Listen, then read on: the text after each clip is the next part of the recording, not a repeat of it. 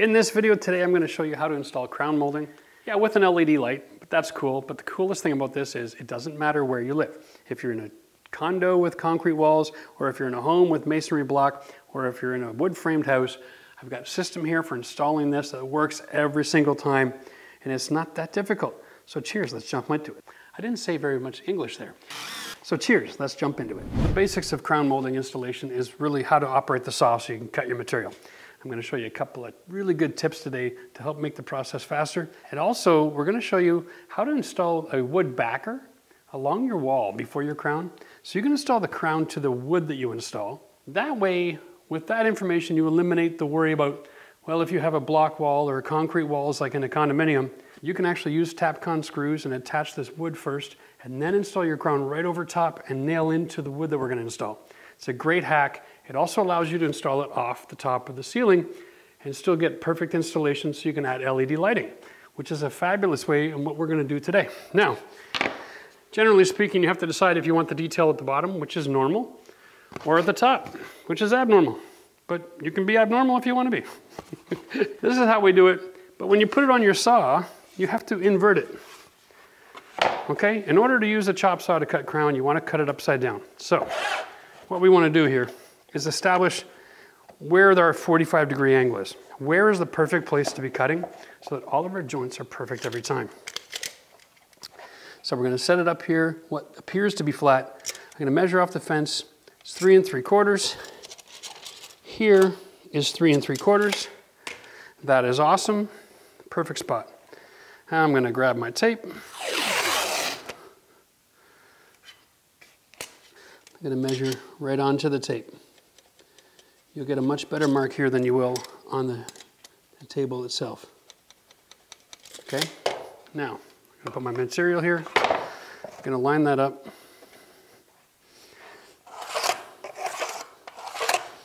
All right, good. It'll be a lot easier to set that up as we go. So before we can start taking our measurements, and in the tutorial today, I'm just gonna do an inside corner and outside corner, show you all of those tips and tricks, some LED strips. I'm not actually installing crown in a whole room. This is just a quick tutorial to show you all the process. First thing we need is two jigs, okay? We want an inside corner jig and an outside corner jig because that will make life a lot easier. Remember, we're working with a fence here and a machine that's square and got right angles. Your wall and ceiling won't. So you're gonna wanna have a jig so that you can finesse things when you get up on a ladder. I only need one of these full length suckers. Let's cut it in half. Okay. Here we go. So, the first jig we're gonna make is for outside corners. So we're gonna set our material here, realizing that's the bottom and that's the top.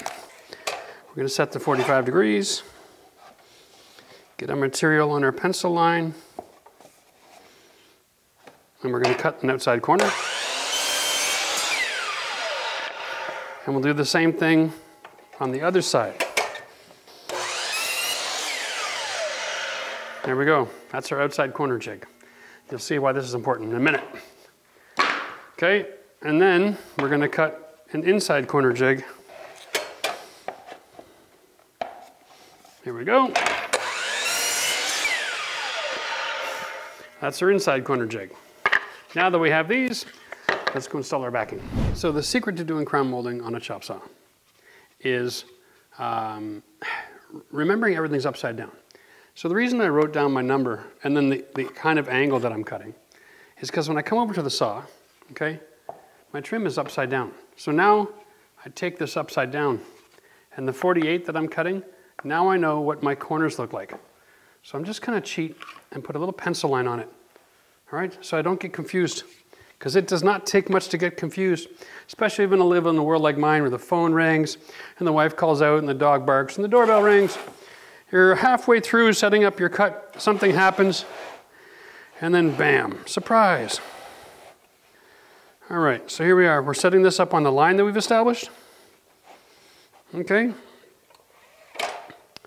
and that's just remember the angle. So don't worry about it. And then we're gonna cut. Now that one's done. And according to my calculations, we have to do a 48 cut. Here we are. And this one was straight. That's about as easy as it gets. Ooh, damaged the tip. Ooh, almost a teachable moment. Um, MDF, put out the legs so it doesn't fall on the ground. That would have been handy. Um, if you're doing a lot of pieces and you're gonna work a saw, you can write that in, or you can even on your map, you can mark them, cut number one, two, three, four, five, and work around the room, okay? Do your cuts and set them aside. Now we're upside down. Next cut is 26 and a quarter, and we're gonna make both cuts like this. Good. So in this situation, we wanna start on the left, and then we wanna measure to 26 and a quarter, make a mark and cut it. This is easy. Set this edge to the pencil line, bring it over to where it'll cut.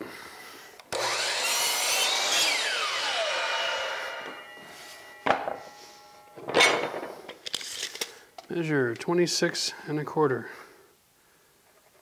And you want to measure right to the back of the material and then make a 45 mark as an eyeball, okay? And here's why. This is measure once, cut twice. This is my system, especially for DIYers. Until you get to know your tool really well, or unless you buy one that has a laser, you don't exactly know where that's gonna cut. So come down with your saw blade, make a mark on your material, and then slide it over relatively the same amount. And then when you're just a little bit shy, do a first cut. And what that'll show you is where it cuts on the back relative to where the material is. Now I only have to move over an eighth of an inch. That's hardly anything. There we go. That's perfect. And the third cut is four and seven eighths. Okay, we're gonna go upside down. Now, in this case, it's a little trickier because the long part on this one is gonna be at the bottom of the saw because it's two outside corners, okay? So, what we're gonna do is when we turn this upside down, I've got a cut here and I got a cut here. It's always easier to finish with the cut on the right than it is a cut on the left. So we'll start just by cutting material at random on the line. We'll get this angle first. The base of this is four and seven eighths with outside cuts. So now I've got to put a mark here, four and seven eighths. And sometimes the best way to confirm it is just start with the tape measure at the mark and see if it says six and seven eighths. In this case, I'm just a little bit long, okay? Measuring from nowhere to nowhere with this tape measure is tough because the end moves in and out for when you're measuring from inside something or measuring on something. So in this situation, you're better off to round up to another whole number that's easy to put on the pencil, and then just add two to your measurement. Now here we are, put our material on the pencil lines, test cut. Let's get it closer. That ought to be perfect. Now, here's the best part. And this is why I have these, okay? Because I can use my test pieces when I put something up on the wall and I can put them together, all right? And if everything is perfect, it'll be a seamless joint. But if I've got something up on the, too high up on the wall and it rolls open, or, or it'll open up like this, okay? If I'm on the, on the wall wrong. So these little jigs keep everything perfectly square. So I don't install it on the wall until it looks like it's one piece of material. All right, so let's take the jigs, let's take our material, let's hook up our air compressor. We're gonna need brad nails, two inch for this, I'm using an 18 gauge nailer. And then all we need is a caulking gun with the crown molding caulking in it, not regular latex or all purpose or door and window or painters. Get the right stuff. It has a bit of an expansion contraction material. Very important near a ceiling because during different times of the year, the ceiling can get really warm or really cold and you don't want your material cracking over time. Oh, of course, there we go. okay, now we got our backer material. Let's go install some crown. So just for clarification, I'm using a um, MDF crown molding from Home Depot. It's five and a quarter inch wide. And this is cut one and a half by one and a half. You can buy these off the shelf as a two by two. I didn't have them, so I just ripped it off a two by four. And traditionally, I would put it up here. All right, and that leaves enough room for the molding to pass along. And then I would just nail right through the middle into this wood. So even if the drywall is attached to masonry or concrete in an apartment building, it doesn't matter where you live, you can attach this with Tapcon screws or wood screws if you have wood, and you can put it up here for traditional installation up to the ceiling. What we're gonna do is not so traditional, okay? I'm gonna measure three and a half inches down, all right? And I'm gonna grab a stud finder, find out where my wood is, and I'm just gonna screw that in right at this height. Okay, and then what's gonna happen is my crown will then sit something like this, and we'll have a gap around the top so that we can put our LED rope light. Nice and simple, and it's a great way to dress up any ceiling in any room. All right, there we go. We got one here. Good. Really? I don't believe you. Yeah. When in doubt, try again. Here we go, folks. If you want to learn how to use a stud finder, I use a $20 version. We did a short video, it's up on our YouTube channel. You can just search that out, but use the search icon tool on the homepage. All right, here we go.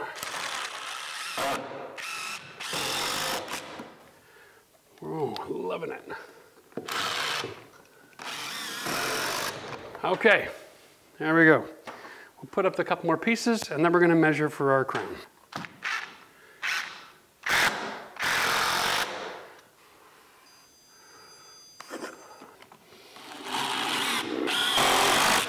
Okay, let's take some measurements. Now, because we're cutting upside down, we have the advantage. We need one measurement. This to the outside corner of the wall, okay, which is 26 and a quarter. And I'm gonna write that on here, 26 and a quarter. What I do is I go like this. The right side is gonna be at that angle. The left side is gonna be that angle.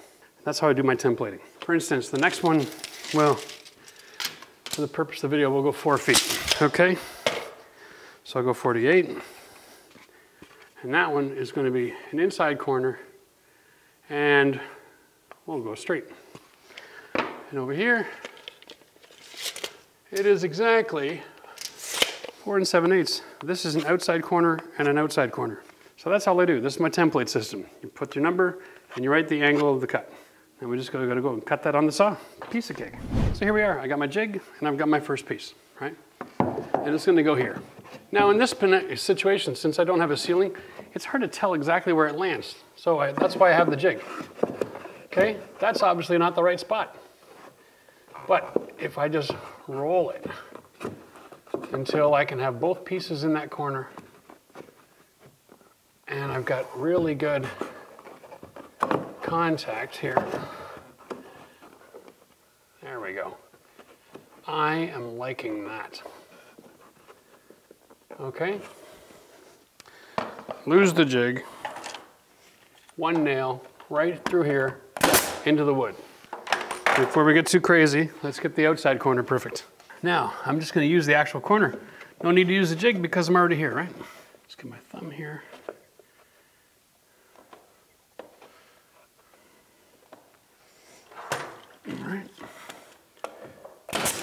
Boom. There we go. Now, for good luck.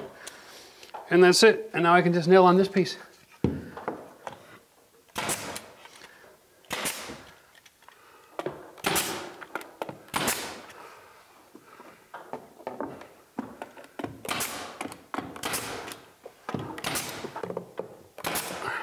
Now as a DIYer, I'm gonna encourage you when you're doing a crown molding project, put more faith in your caulking than you do in your carpentry. Houses are notoriously right completely not any good when it comes to square, when it comes to level, when it comes to plumb. Builders are not taking their time. The drywall people are using machines, they're in a hurry. The last person to get on the job is the carpenter who has to be specific It's just not common sense. So, trust your caulking. Trust the fact that people are standing, you know, six, eight feet away. You have two choices in, in construction at this level. One is to scribe all your corners, and there are lots of carpenters, and, and they spend hours and hours and hours doing a carpentry job. Or the average homeowner can just learn how to use their caulking gun and fix up all other mistakes. It's as easy as this. And then you paint. And you don't let the little things bother you because this is just as perfect as anything that they're going to give you in new home construction. And at the end of the day, your job as a homeowner is to increase the value of your home. And as long as you do work that's as good as a, a new home construction, you're going to obtain that goal, okay? You don't have to all be master carpenters. A little bit of caulking on the joint down here. All right. Now, generally speaking, I'm not a big fan of using caulking and nail holes. You can use a Drydex or you can use 45 minute compound and mix up a drywall powder and you can use that to fill all your nail holes. When all of your caulking and putty work is done, you need about two hours for it to dry. So if you're doing a whole room and you do the caulking and putty as you work your way around, you might be surprised to find that it takes about two hours. so then you can take out your paintbrush right away and start painting all your trim. This is just primed. It probably needs two coats of a finish trim, all right? But the next step is really simple because now you get to put your lights on top. This is a 12 foot LED rope light. If you haven't seen this kind of thing before, um, it's pretty cool. It just plugs into the wall. One of the things you can do with this kind of assembly with your crown molding, and here's the cheat. If you have a light switch, you can actually take the power from the light switch and bring it up here behind the molding in the wall and add a plug. And you just plug this right in, okay? So then you can add an extra switch to turn on just this. That's, that's a pretty in-depth video, but to get the idea, it has an end and this can be continued on in sequence. So you can grab enough to do the whole perimeter of the room and you just tuck it up in behind your molding.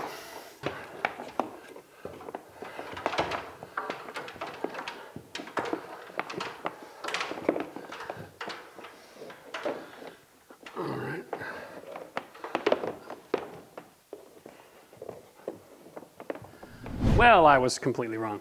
This is a level three out of 10 in the degree of difficulty. Uh, it does require a certain number of tools, but the skill set is pretty minimal. I'm sure you can be able to do this at home. All right, listen, if you have questions about your project or you need help, consider joining our membership program. All right, we're here to help. We got an awesome forum for you. You can send in pictures and we can get into a bit of conversation so that if you're stuck, you can get some help to get out of a rut. Make sure you check this out. This is a painting video that'll help you to take this to finish and get great clean lines and an awesome result. Cheers.